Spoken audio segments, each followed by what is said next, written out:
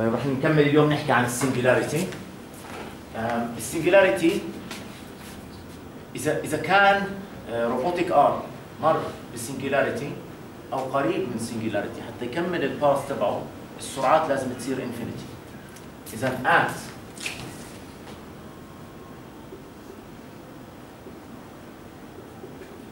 at ال singularity حتى يكمل الباث تبعه يعني ات السنجلاريتي وين أو moving through a singularity خلينا نحكيها بشكل ادق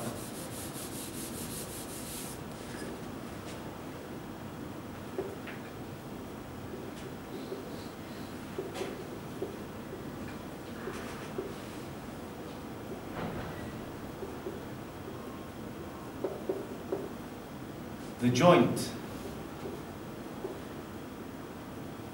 speeds approach infinity.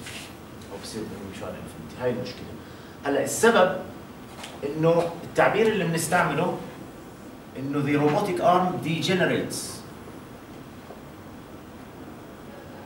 Degenerates في اللغة إيش معناها؟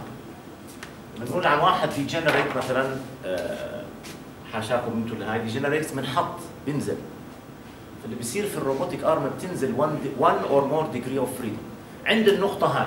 هلا طلع هون لو اطلعنا على هاي الحالة هلأ إذا إحنا بعدنا عن ال singularity ال singularity موقعها هون. okay؟ لما هاي الزاوية اللي هي ال elevation تصير 90 درجة إذا كأني بقيسها عمالي من هون. لما هاي ال elevation تكون بهاي بهذا الاتجاه we've lost one degree of freedom. هلأ ننسى ال orientation خلينا نركز على الاكس والواي والزد إذا أنا بدي أحقق إكس وواي وزد مثلا هون بهاي النقطة لما إحنا موجودين هون أنا بقدر أحرك بهذا الاتجاه وبقدر أحرك بهذا الاتجاه. مظبوط؟ فعندي بقدر أغير الاثنين فعندي 2 degrees of freedom. في الحاله هاي عندي هون degree of freedom وهيك degree of freedom. هلأ مشكلتي لما بطلع عند النقطة هاي خسرت 1 degree of freedom. لأنه صار إيش ما حركت من تحت من هون ما بصيرش شيء لأنه هذا بس هيك بتحرك. okay؟ I lost 1 degree of freedom ال degree of freedom الوحيده اللي ضلت لي هي إيش؟ اللي فعلا بتحقق شيء بتغير شيء؟ هاي. عند هاي النقطة. ولذلك ما بنقدر نقول إنه هاي ال robotic arm فيها هي singularity إيش بقول؟ عند ال position هذا في هاي ال robotic arm في singularity okay؟ هلا المشكلة بتصير لما أنا بحاول أعمل path يمر في هاي. فلو أنا بدي أعمل path معين يمر مثلا من نقطة هون فرضا وبدي أروح مثلا على مكان ثاني وعمالي بمر بال singularity عند ال singularity رح تصير السرعات عالية جدا. اللي رح يصير رح يطلع هذا هون رح يضطر هذا يلف بسرعة هائلة جدا. بسرعة هائله جدا حتى يمكنني إني أرد أنزل مرة ثانية فهون إحنا the robotic arm degenerates. بتخسر 1 degree 1 or more degree of freedom. نفس المثال بنشوفه في حالة البوما 560 إذا طلعنا على البوما 560 طلع على آخر 3 frames إذا متذكرين آخر 3 frames عندي واحد منهم بهذا الشكل هي زد 4 وين زد 4 هي زد 4 هون.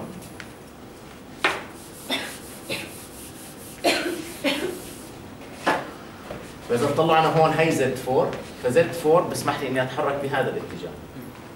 إذا طلعنا على Z 6 زد 6 كمان بخلي ال end effector أو ال tool تتحرك بهذا الاتجاه. اذا لما تكون ثيتا 5 0 في حالة معينة راح تكون فيها ثيتا 5 0 بكون Z 6 و Z 4 إيش؟ aligned نفسهم.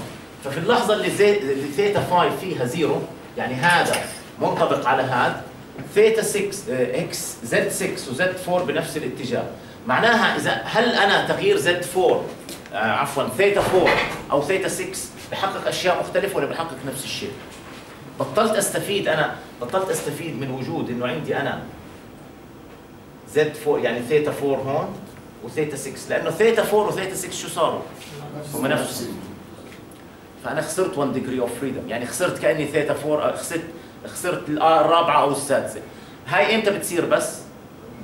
بالحالة اللي بتكون فيها ثيتا 5 0 فإذا في أي لحظة في أي position أنا بتحركه إذا اضطريت إني أوصل إنها تصير ثيتا 5 صغيرة جدا قريبة جدا لل zero أنا بديت فهاي أنا مالي بمر في singularity وبهاي اللحظة ال degenerates شو يعني degenerates بنزل من 6 degrees of freedom بهاي اللحظة ل 5 degrees of freedom بصير عندي singularity إذا بدي أمر في هذا ال path رح اضطر أرفع السرعات بشكل عالي جدا. في سرعة من السرعات ثيتا 4 مثلا أو ثيتا 6 بدها ترتفع السرعة بشكل كبير حتى أقدر إني أمر بهاي ال singularity خصوصا إذا أنا عامل Cartesian space planning متذكرين ال Cartesian space planning إيش بيجبرني؟